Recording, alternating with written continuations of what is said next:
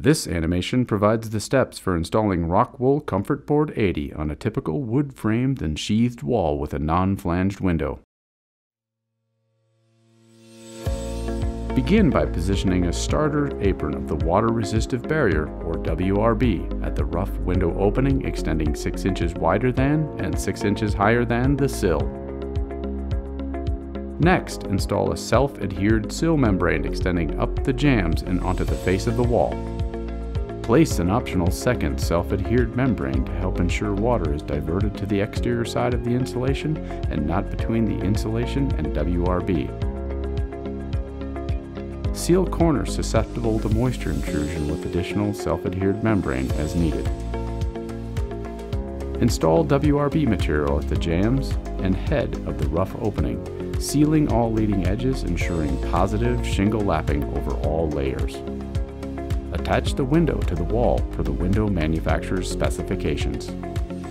To ensure air barrier continuity throughout the wall assembly, use backer rod where necessary and seal around the jambs and head on the exterior side of the window.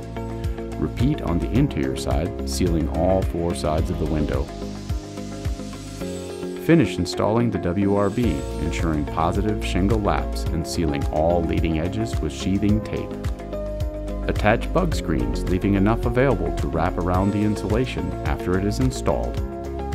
Install the bottom course of Comfortboard 80 layered horizontally using 1 to 2 fasteners per board. Fasteners should extend into the sheathing behind the insulation with 2 inch or larger washers to hold the insulation temporarily in place.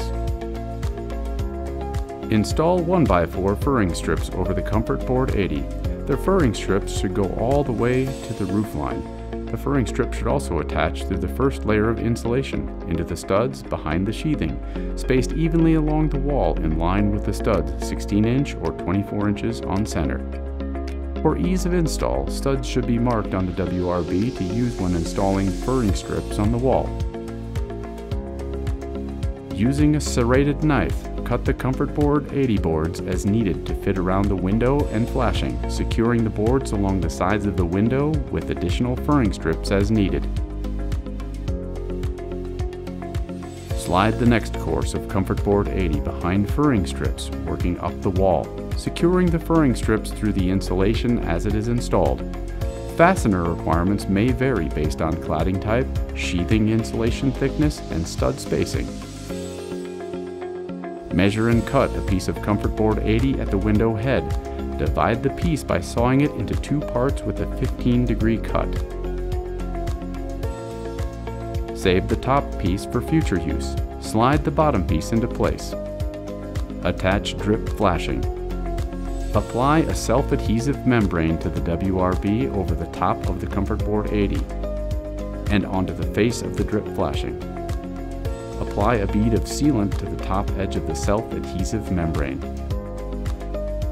Slide the top piece of Comfortboard 80, saved from earlier, into place. Secure 1x4 strapping below and above the drip flashing. Finish installing Comfortboard 80 up the entire wall, ensuring to attach a bug screen at the top of the wall underneath the insulation layer with enough overhang to wrap around the insulation layer after installed. Extend the optional second sill membrane out over the face of the Comfortboard 80 at the base of the window. Install pre-finished metal sill flashing according to the window manufacturer's specifications and seal the gap between the flashing and the sill with sealant. Assemble the window trim boards and attach to the wall. Finish installing the remaining cladding. Complete the installation by applying sealant along the top and sides where the window frame and trim boards meet.